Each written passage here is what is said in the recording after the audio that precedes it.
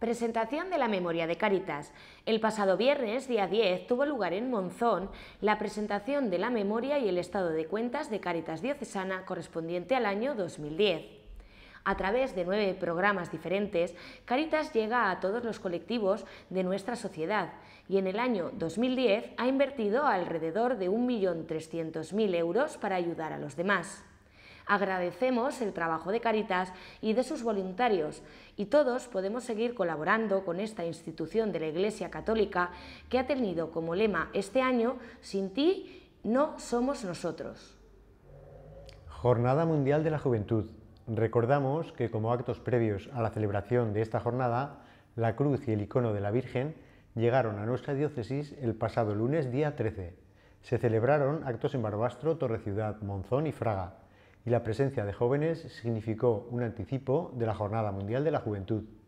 Esta se celebrará en Madrid del 16 al 21 de agosto y contará con la presencia de Benedicto XVI.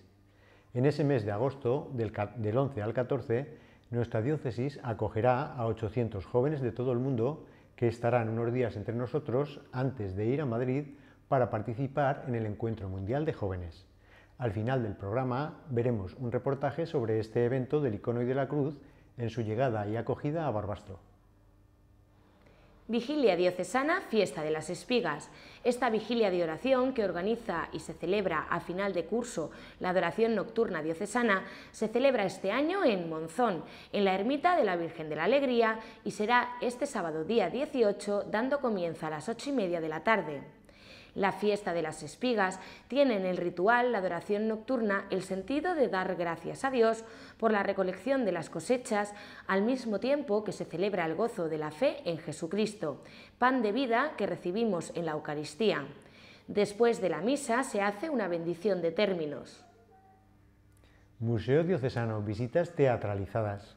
Con motivo de las fiestas de San Ramón, se va ofrecido al público la posibilidad de realizar una visita diferente asistiendo a una puesta en escena con personajes que entre los siglos XII y XVIII tuvieron vinculación con este edificio y con las piezas de la colección que contiene.